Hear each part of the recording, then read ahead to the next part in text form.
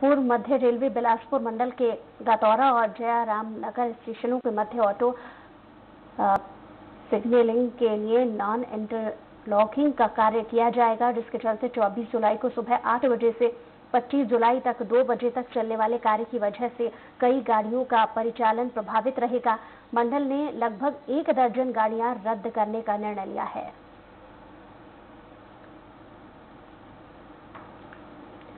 मध्य प्रदेश सरकार street food hub को लेकर